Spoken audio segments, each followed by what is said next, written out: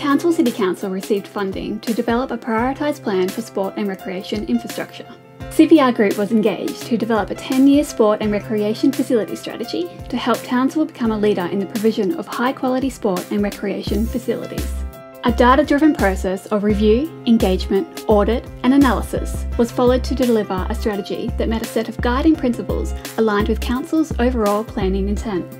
An extensive consultation program was conducted to help inform the plan, including engagement with local clubs, the community, schools, government, and Townsville City Council. The result was a strategic, data driven, well consulted, and collaborative plan that provides Council with the tools to make informed, strategic decisions.